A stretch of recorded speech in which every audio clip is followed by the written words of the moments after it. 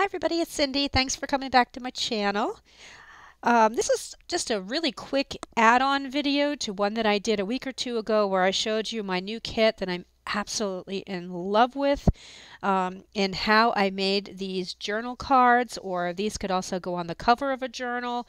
What I like to do with them or what I'm doing with them right now is putting them, uh, sticking them in a piece of ribbon and um, wrapping it the whole thing around a journal cover.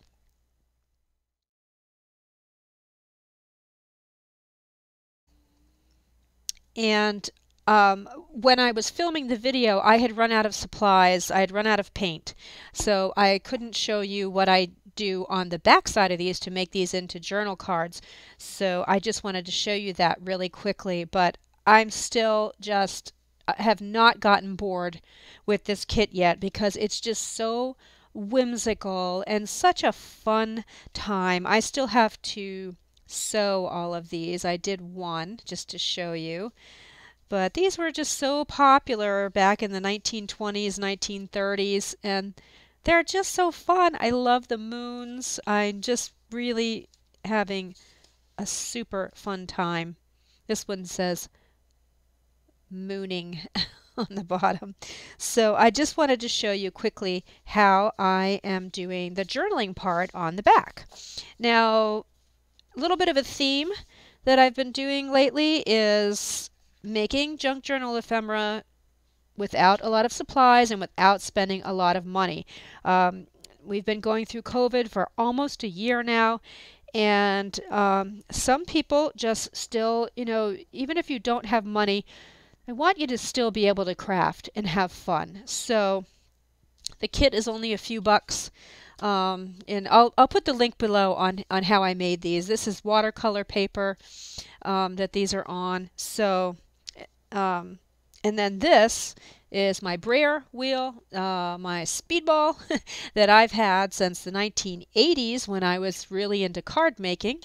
This is just a piece of corrugated cardboard that just came free. It's I, I tore this part off of a box and um, whoops, saved a bunch of saved a bunch of these and uh, cut this down to the size that I wanted for the back of the card.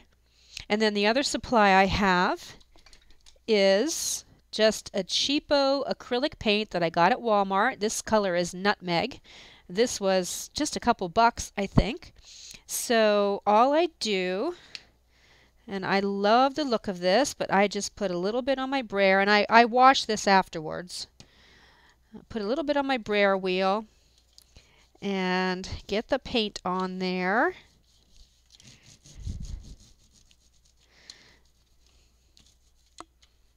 Oops, I got a little bit, put a little bit too much on. It's all, sometimes that happens.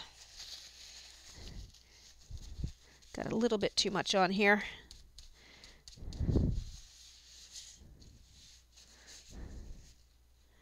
Okay. Just get the paint on there.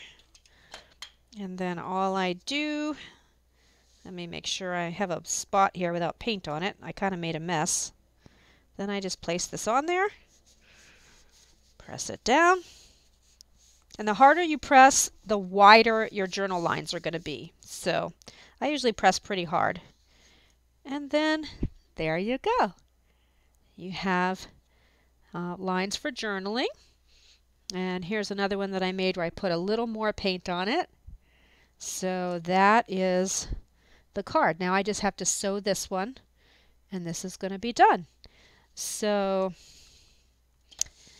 that is this video is what less than five minutes long but it's just it's just a little quick video that I wanted to show you since I wasn't able to do it when I filmed the original video on what the back of these look like and um, what I do with them. So uh, I hope you enjoy this. It's uh, if you like whimsy, you will love working with these. They're they're really fun.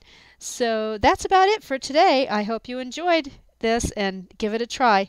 I'll see you in the next video. Bye!